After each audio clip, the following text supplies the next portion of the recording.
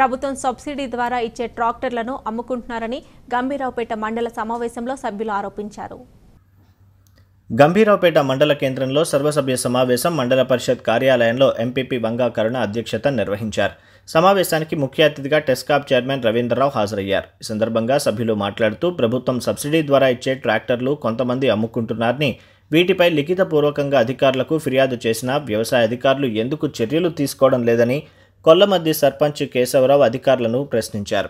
గ్రామాల్లో గత మూడు రోజుల నుంచి మిషన్ భగీరథ వాటర్ రావడం లేదని అధికారుల దృష్టికి సభ్యులు తీసుకెళ్ళారు. విద్యుత్ ఛార్జీలు ఎక్కువ రావడంతో ప్రజలు ఇబ్బందులకు గురవుతున్నారని విద్యుత్ శాఖ అధికారులకు నర్మాల ఎంపీటీసీ బాలామణి తెలిపారు. ఈ సందర్భంగా టెస్కాప్ చైర్మన్ రవీందర్రావు మాట్లాడుతూ పంట పొలాలకు ఎటువంటి తెగలు సోకకుండా వ్యవసాయ అధికారులు రైతులకు ముందస్తు సూచనలు సలహాలు ఇవ్వాలని సూచించారు.